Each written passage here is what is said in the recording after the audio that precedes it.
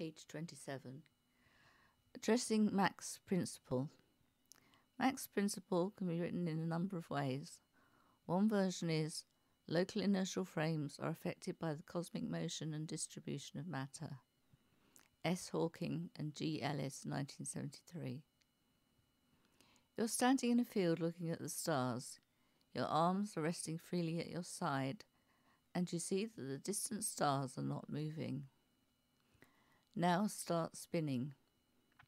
The stars are whirling around you, and your arms are pulled away from your body. Why should your arms be pulled away when the stars are whirling? Why should they be dangling freely when the stars do not move? S. Weinberg, 1972. Argument in reply. There is not spooky action from the distant stars on the spinning observer.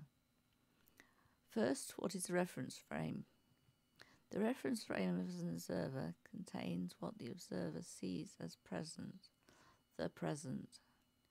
Using special relativity as the explanatory framework, the scene content of the reference frame is the observer's unique present slice of the space time continuum. Using the explanatory framework set out in this book, what is seen by the observer is the image reality observation product generated from EMR received from the local environment. What EMR is received when is affected by the motion of the observer.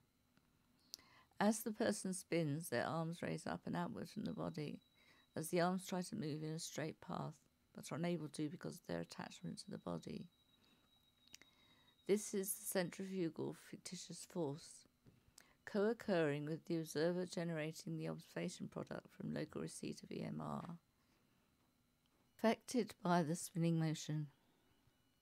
A stationary view of the stars is generated from the local receipt of EMR when the observer is not spinning, co occurring with no centrifugal force, resulting in vertical hanging arms. References Stephen W. Hawking and George Francis Rayner Ellis, 1973.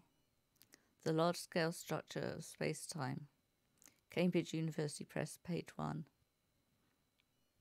Steven Weinberg, 1972. Gravitation and Cosmology. USA.